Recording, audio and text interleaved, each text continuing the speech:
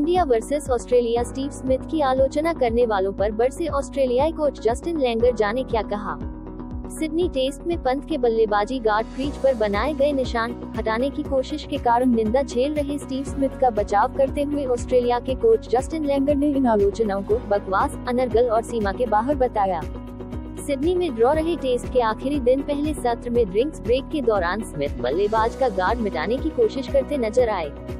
Video viral होने के बाद सोशल मीडिया पर क्रिकेट प्रेमियों और माइकल वॉन समेत पूर्व खिलाड़ियों ने इसकी आलोचना की।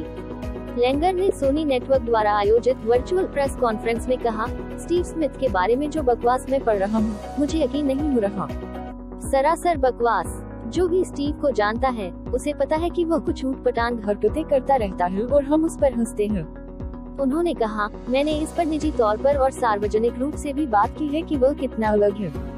वह क्रीज पर जो भी करता है, वह इसलिए कि वह सिर्फ़ खेल के बारे में ही सोचता रहता है। लेंगर ने कहा कि गेंद से छेड़खानी प्रकरण के बाद वापसी के साथ मैदान पर और मैदान से बाहर स्मिथ का व्यवहार अच्छा रहा है। उन्होंने कहा, कोई यह कहता है कि एक मिलीसेकंड के लिए भी वो कुछ गलत कर रहा था तो यह सीमा के बाहर है।